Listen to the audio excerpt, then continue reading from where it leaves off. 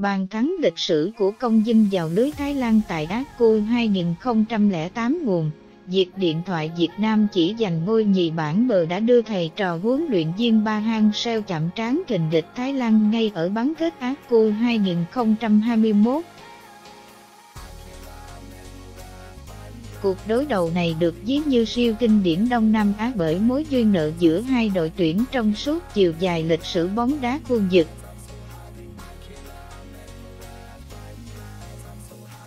Và trước lần tái ngộ sắp tới, hãy cùng nhìn lại năm trận đấu hay nhất giữa hai đội.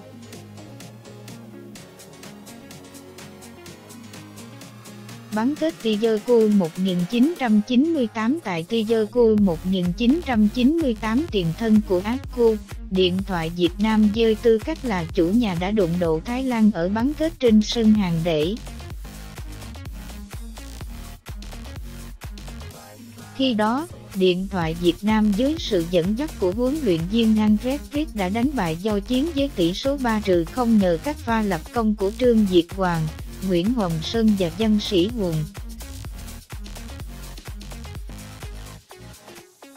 Tuy nhiên, Thái Lan tham dự giải đấu năm đó mà không có được lực lượng mạnh nhất khi thiếu vắng bộ ba nổi tiếng Kiati Sardensit Tawen,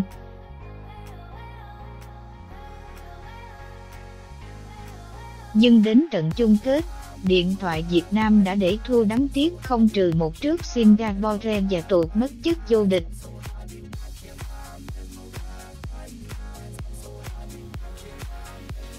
Lượt đi chung kết ACU 2008 tại ACU 2008, sau khi thất bại không trừ hai trước Thái Lan ở vòng bảng, Điện thoại Việt Nam dưới sự dẫn dắt của huấn luyện viên Henry Cucalito đã đi một mạc để tiến vào trận chung kết gặp lại chính do chiến.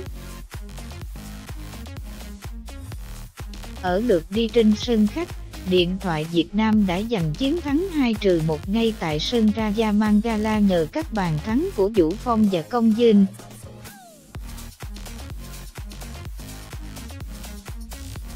Lượt về chung kết Á Cu 2008 chiến thắng 2 trừ 1 ở lượt đi giúp điện thoại Việt Nam hừng hực khí thế tiếp đón Thái Lan trên sân nhà Mỹ Đình.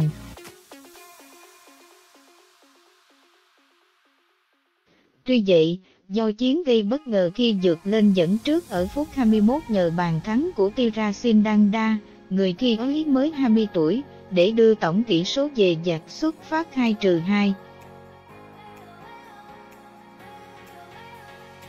Nhưng đúng vào phút bù giờ 90 cộng 3, công dinh đã tỏa sáng với pha đánh đầu ngược gỡ hòa một trừ một cho điện thoại Việt Nam trong sự dở người của 40 dặn cổ động viên có mặt trên khán đài Sơn Mỹ Đình. Chung cuộc, điện thoại Việt Nam thắng với tổng tỷ số 3 trừ 2 để giành chức vô địch AFCON lần đầu tiên trong lịch sử cho đến bây giờ, đó vẫn là một trong những khoảnh khắc đáng nhớ nhất của bóng đá Việt Nam. Lượt về dòng loại World Cup 2018 ở dòng loại thứ hai World Cup 2018, Điện thoại Việt Nam dưới sự dẫn dắt của của huấn luyện viên Toshiya Ura và Thái Lan nằm chung. Ở lượt đi trên sân khách, điện thoại Việt Nam để thua Thái Lan không trừ một. Trong trận tái đấu trên sân Mỹ Đình, điện thoại Việt Nam tiếp tục phải nhận thất bại không trừ ba trước do chiến.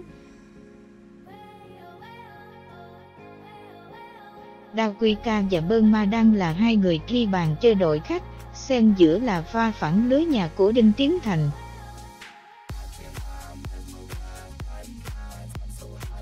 Kết thúc chiến dịch dòng loại thứ hai World Cup 2018, Điện thoại Việt Nam xếp thứ ba với 7 điểm và phải dừng bước. Trong khi đó, Thái Lan giành ngôi nhất bảng với 14 điểm và tiến vào dòng loại thứ ba.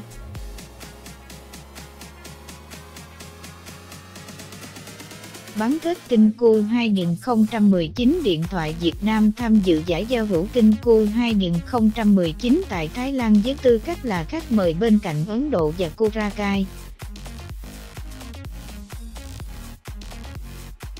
Gặp giao chiến ở bán kết, thầy trò huấn luyện viên Ba Hang Seo đã giành chiến thắng 1 trừ 0 nhờ bàn thắng duy nhất ở phút 90 cộng 4 của Anh Đức.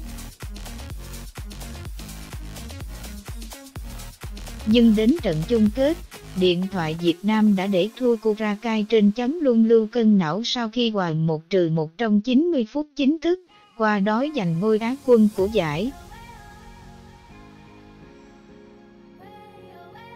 Dưới thời huấn luyện viên Ba Hang Seo, gió đã đổi chiều khi điện thoại Việt Nam chưa từng biết đến mùi thất bại trước Thái Lan.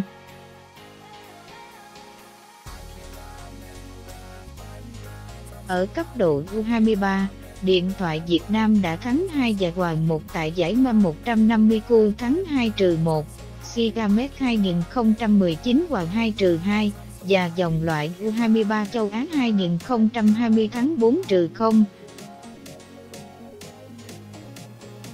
Ở cấp độ đội tuyển quốc gia, Điện thoại Việt Nam đánh bại Thái Lan 1 trừ 0 ở Kinh Sờ Cu trước khi hòa 0 trừ 0 ở cả hai lượt đi và về tại vòng loại thứ hai World Cup 2022 khu vực châu Á.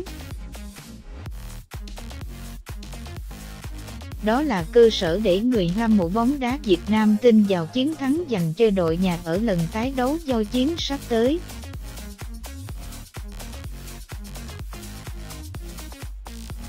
Lịch sử đối đầu giữa điện thoại Việt Nam và Thái Lan lịch thi đấu vòng bán kết AFCON 2021, lượt đi, Singapore Indonesia, 19 giờ 30, 22 chi 12 Thái Lan điện thoại Việt Nam, 19 giờ 30, 23 chi 12 lượt về, Indonesia Singapore, 19 giờ 30, 25 chi 12 điện thoại Việt Nam Thái Lan, 19 giờ 30, 26 chi 12 mời các bạn đón xem phần 3, nhận định khả năng chiến thắng của Việt Nam trước Thái Lan ra sao, vào sáng 23 tháng 12.